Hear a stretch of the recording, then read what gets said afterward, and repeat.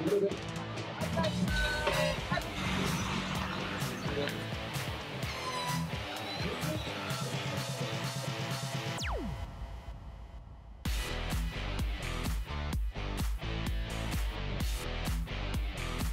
hear it for our elite field of men and women.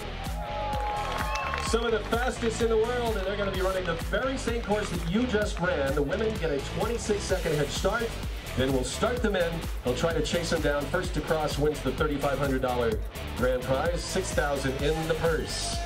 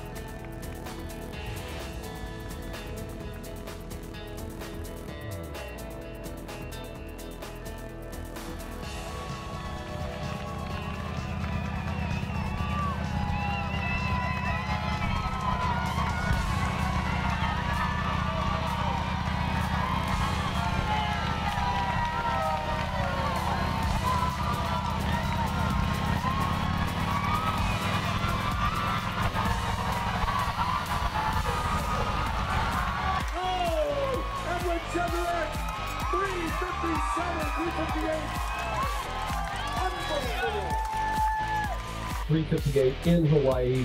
Let's say congratulations again to our champion, Edward Cheserek, Marion Surratt, Will Leer, all of our talented runners